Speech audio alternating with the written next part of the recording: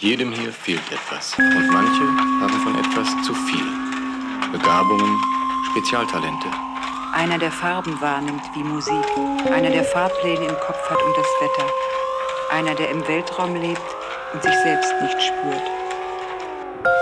1975 der Komet Ist am Morgenhimmel damals oberhalb des Sternbilds Pegasus.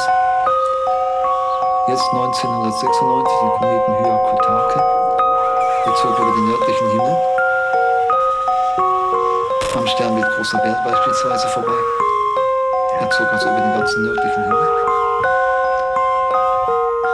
War mehrere Wochen lang zu sehen.